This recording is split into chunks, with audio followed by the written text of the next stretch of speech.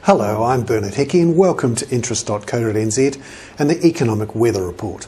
Today we're looking at migration stats. These are interesting because they have a big impact on the housing market and the general view on inflation.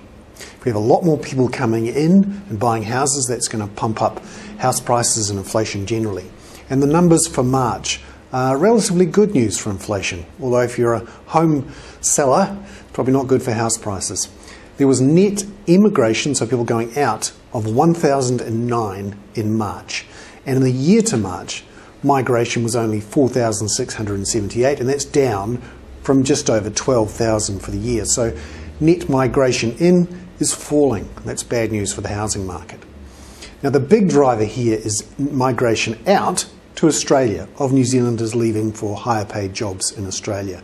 Net migration to Australia in the year to March was 29,982.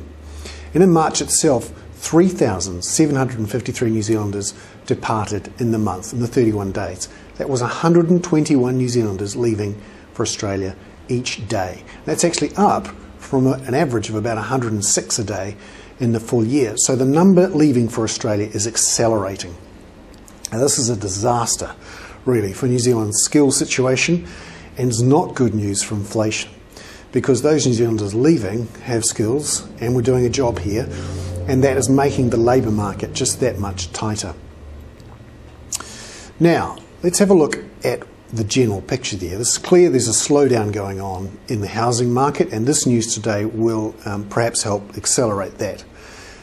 And it's one more piece of good news for the Reserve Bank when they're thinking about interest rates. But it's probably not enough for the Reserve Bank to cut interest rates on Thursday when it makes its decision. It's interesting too to have a look at some of the detail on the immigration stats coming out this month. It's clear there's a couple of trends going on here. Asian migration is up, particularly from India and to a lesser extent from China.